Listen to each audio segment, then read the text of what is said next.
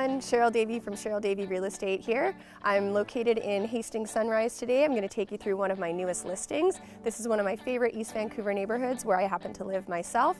We're blocks off Hastings Street here. Also, you've got Sanctuary Pond and Hastings Park, which is really close.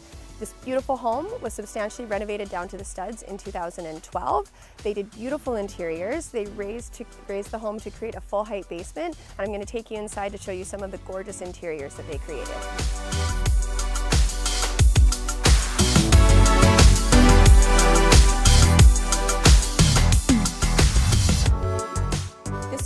Gorgeous home is located on an extra long lot. It's 150 feet depth, which enables you to build a laneway house here, but still have massive amount of personal yard space.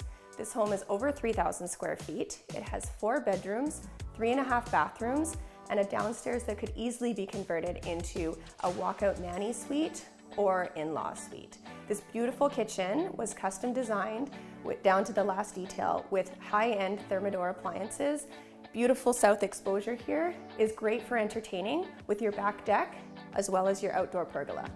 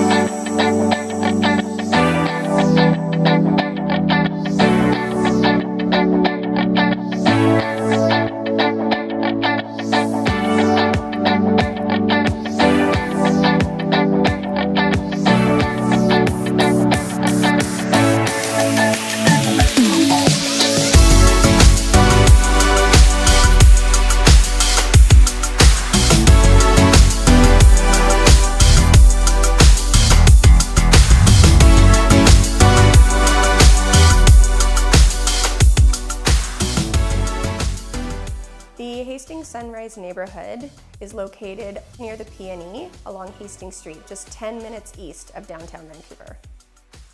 This area features many new restaurants, shops, and grocery. There's many, many parks within the neighborhood. This home is located within the A.R. Lord Elementary School catchment, as well as the Templeton for high school or potentially Vancouver Tech if you're looking to do French immersion.